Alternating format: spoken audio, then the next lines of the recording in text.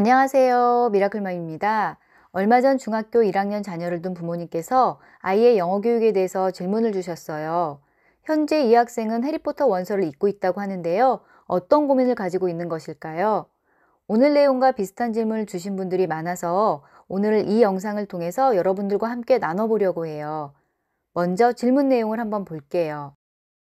큰아이는 초등학교 1, 2학년 때 영어 방과후를 하다가 그만두고 늦게 정신을 차려서 5학년 말부터 집중 듣기를 시작했고요.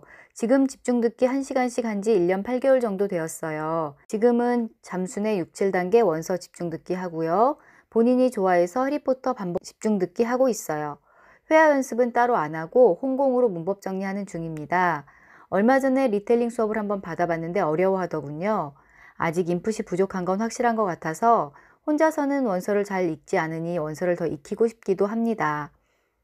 어린 나이도 아니고 마냥 그냥 두기는 불안한데 writing이나 회화나 retelling 연습을 시켜야 하는 건지 갈피를 못 잡겠네요.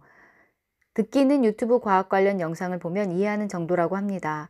사실 수학도 급한 시기이긴 하지만 지금 아니면 영어는 더 늦으면 안 되니까 올해까지는 영어에 더 매진하고 싶네요. 저는 일단 내신보다는 제대로 된 영어 실력이 우선이라고 생각하고요. 지금 저희 아이에게 시급한 것은 무엇일까요? 이렇게 질문을 주셨어요. 초등 저학년 때는 영어 노출이 적었고 초등 5학년부터 집중 듣기를 시작해서 현재 중학교 1학년인데요. 집중 듣기 하루 1시간씩 진행이 1년 8개월 정도 되었고 현재는 해리포터 반복 집중 듣기를 하고 있다고 하네요. 하지만 리텔링 수업을 어려워하고 혼자서는 원서 읽기를 즐겨하지 않는 것 같아요. 집중 듣기 같은 엄마표 영어 용어가 생소하신 분들은 엄마표 영어 용어에 대해서 올려드린 이전 영상이 있거든요. 위에 링크 걸어둘 테니까 참고해 주세요.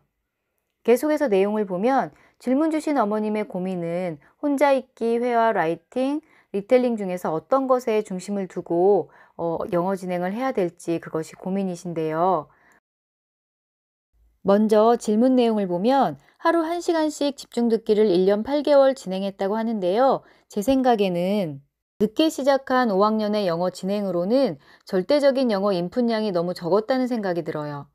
영어는 언어고 언어 습득은 어느 정도 임계치에 도달해 아웃풋이 나올 수 있거든요. 그런데 오늘 주인공은 하루 1시간 집중 듣기라는 인풋이 있었다고 하니까 영어에 투자한 절대적인 시간이 너무 적지 않았나 하는 생각이 들어요. 물론 흘려듣기 진행도 있었겠지만 책을 읽기 위한 집중 듣기가 하루 1시간이었다는 것은 늦게 시작했다는 점을 감안하면 너무 적지 않았나 싶고요. 그렇다면 아이의 혼자 읽기 진행은 어땠을까요? 이 질문을 읽으면서 저는 아이의 그동안 혼자 읽기 진행이 좀 궁금했어요. 해리포터를 집중 듣게 하는 중학생인데 혼자 읽기 원서를 좋아하지 않는다고 했기 때문인데요. 그래서 혼자 읽기와 흘려듣기 그리고 학습서 진행에 대해서 추가적인 질문을 좀 더 드렸어요. 추가로 주신 아이의 영어 진행 내용을 보면 집중 듣기에 중점을 두다 보니까 혼자 책 읽을 시간이 없었다고 해요. 혼자 읽기 책은 2점대 readers 1천권 읽기를 했고 현재 혼자 읽고 있는 책은 graphic novel 정도를 읽고 있다고 하는데요. graphic novel 같은 경우에는 만화 형식의 영어 원서예요. 그림이 많아서 내용 유추가 쉽고 영어가 조금 어려워도 그림으로 내용 파악이 되는 책이죠. reading 레벨 역시 2점대 초반에서 3점대의 책이 많으니까 아이가 혼자서 만만하게 읽는 책의 레벨은 readers 1천권 읽기를 했던 책과 비슷한 2점대에서 3점대 초중반 정도의 책인 것 같아요. 보시면 알겠지만 아이의 진행에서 집중 듣기와 혼자 읽기 책의 레벨 차이가 상당히 크다는 걸 알 수 있어요. 해리포터 영어 원서의 reading 레벨은 AR 5점대에서 7점대까지니까 집중 듣기는 5에서 7점대 책을 읽고 있는데 아이가 혼자 읽고 있는 책은 2, 3점대 책이거든요. 엄마표 영어를 할 때 아주 중요한데 가끔 잊게 되는 것 중에 하나가 균형이에요. 소리를 들으면서 책을 읽어가는 집중 듣기는 완전한 읽기가 아닌 듣기에 더 비중이 있는 영어 학습 방법이에요. 집중 듣기는 책을 보면서 듣기를 하기 때문에 부모님들께서 아이가 책을 읽고 있다고 생각하기 쉬운데요. 아이는 듣기를 하면서 대충의 내용 파악을 해나가고 있는 거예요. 따라서 영어책 읽기 독립이 되려면 책을 읽고 내용을 제대로 파악하며 사고할 수 있도록 혼자 읽기를 단단하게 다져줘야 하는데요. 오늘 주인공의 경우에는 고학년의 엄마평어를 시작하면서 혼자 읽기가 부족한 상태로 영어 진행이 이루어진 것 같아요. 대부분 고학년에 시작한 영어가 비슷한데요. 늦게 시작해서 마음은 조급한데 영어에 투자할 시간이 부족하기 때문이죠. 제대로 된 영어 균형을 맞추려면 집중 듣기로 reading 레벨을 끌어주고 그 뒤를 혼자 읽기로 단단하게 다져줘야 하는데요. 그러지 못하고 급하게 집중 듣기로 영어 레벨을 끌어올리다 보면 이렇게 집중 듣기와 혼자 읽기 레벨 차이가 벌어지게 되고 이걸 채우지 못하면 결국 반쪽짜리 영어 진행이 될 수밖에 없어요. 하지만 여기서 중요하게 짚어봐야 될 부분이 있어요. 영어를 늦게 시작했지만 아이가 한글책 읽기를 좋아한다는 거죠. 중학생이 되면 대부분의 아이들이 책 읽기를 별로 좋아하지 않는데 오늘 주인공은 여전히 한글책 읽기를 좋아하는 것 같고 어머님 역시 그 부분을 많이 존중해주고 있어요. 또한 아이의 취미생활 역시 인정해주시는 걸로 봐서 또래 아이들에 비해서 부모님과 아이의 소통이 아주 잘 되고 있는 것 같은데요. 이 점이 영어를 늦게 시작했고 집중 듣기 시간이 많지 않았음에도 집중 듣기 레벨을 해리포터까지 끌어올릴 수 있는 요인이 되었을 거예요. 이런 점들은 앞으로 아이가 충분히 영어 레벨을 끌어올릴 수 있는 중요한 요소가 되어줄 거고요.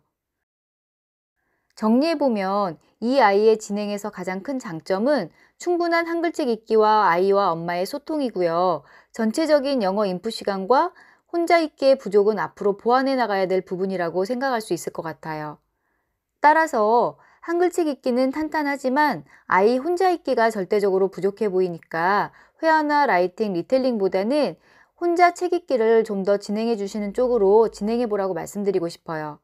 회화나 라이팅은 듣기와 읽기가 더 채워지면 훨씬 쉽게 진행할 수 있지만 혼자 읽기가 부족한 상태에서 회화나 라이팅을 채우려고 하면 읽기 부족으로 인해서 기본이 흔들릴 수밖에 없거든요.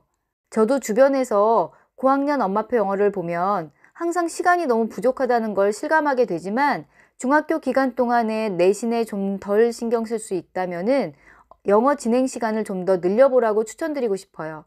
하지만 이 부분은 아이가 중학생이라서 엄마와 아이의 소통이 먼저 필요할 것 같고요. 시간을 얼마나 더 늘려야 할지는 지금 하고 있는 것들 중에서 어떤 것을 정리해서 시간을 확보할 수 있을지가 관건일 것 같은데요. 어머님이 원하는 제대로 된 영어 실력을 갖추고 싶다면 영어 시간의 추가 확보는 꼭 필요해 보여요.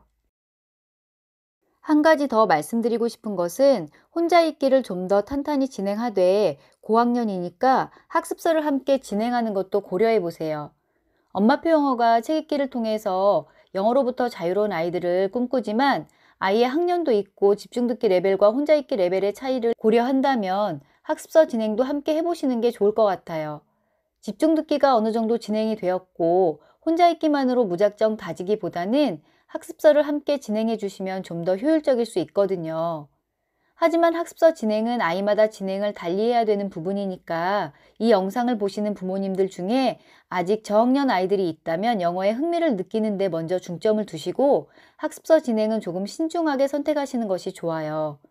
오늘 주인공은 지금 간단한 한글 문법서를 보고 있는데요. 현재 진행에 추천드리고 싶은 것은 리딩과 어휘 원서 학습서를 낮은 단계부터 해보시면 좋을 것 같아요. 학습서는 아이가 부담을 느끼지 않는다면 외국 원서로 진행을 해보시고요. 아이가 혼자 원서 진행이 부담스럽다면 우리나라 출판사에서 나온 어학원용 reading 어휘 학습서들을 활용해 보시는 게 좋아요. 원서 학습서는 미국 초등학교에서 사용하는 교재들이라서 구성과 내용이 깔끔하고 흐름과 문장이 굉장히 자연스럽거든요. 그에 비해서 우리나라 출판사 교재는 해석과 답지 등을 출판사 홈페이지에서 제공하니까 아이 혼자 진행하는데 부담이 없어서 활용하기 좋을 거예요. 하지만 단순히 영어 스펠링과 한글 뜻을 외우는 학습서는 피하는 게 좋고요. 나중에 시간이 된다면 문법서도 영역 문법서를 활용해서 진행해 보라고 추천드리고 싶어요. 영역 문법서는 단순히 문법 규칙을 외우는 게 아니라 정확한 말하기 연습을 할 수 있는 좋은 교재가 될 수 있거든요. 이렇게 엄마표 영어로 좀 더 인풋을 채운 후에는 아이 수준에 맞는 학원을 활용해 보시는 것도 좋은데요. 그러기 위해서는 당분간 인풋을 채울 수 있는 진행에 좀 더 초점을 맞춰 보시는 게 좋아요. 오늘은 해리포터를 집중 듣게 하는 고학년의 영어 진행과 고민을 함께 나눠봤는데요. 항상 말씀드리지만 영어는 충분한 인풋 없이는 아웃풋을 기대할 수 없어요. 아직 저학년이라면 지금 좀 더 인풋을 채워주시고요. 고학년이라면 가능한 한 듣기와 읽기를 놓지 말고 진행해 주세요. 엄마표 영어 관련 궁금한 사항은 아래 댓글이나 제 블로그에 댓글로 남겨주시면 답변 드릴게요.